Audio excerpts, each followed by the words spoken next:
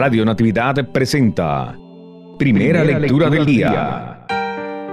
Del libro de los Hechos de los Apóstoles capítulo 15, versos 1 al 6.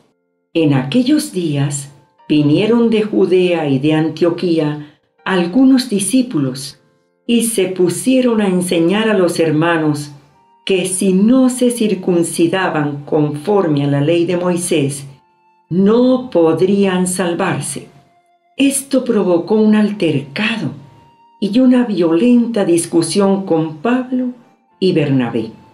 Al fin, se decidió que Pablo, Bernabé y algunos más fueran a Jerusalén para tratar el asunto con los apóstoles y los presbíteros. La comunidad cristiana los proveyó para el viaje y ellos atravesaron Fenicia y Samaria contando a los hermanos cómo se convertían los paganos y los llenaban de gozo con esta noticia.